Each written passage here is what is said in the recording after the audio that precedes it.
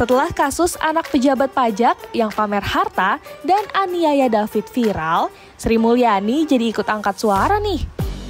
Kekayaan yang dimiliki Rafael Alun Trisambodo, pejabat DJP Eselon 2 sekaligus ayah dari Mario dan Disatrio, bahkan lebih banyak dari Dirjen Pajak Suryo Utomo.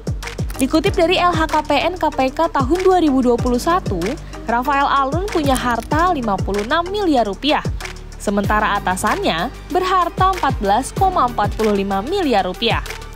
Harta Rafael Alun juga cuma beda 2 miliar dari harta Sri Mulyani yang mencapai 58 miliar rupiah.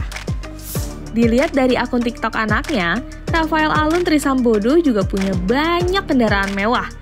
Mulai dari Rubicon, Harley Davidson, dan Triumph. Yang jadi masalah, kendaraan mewah itu nggak ada yang didaftarin ke laporan kekayaan LHKPN KPK.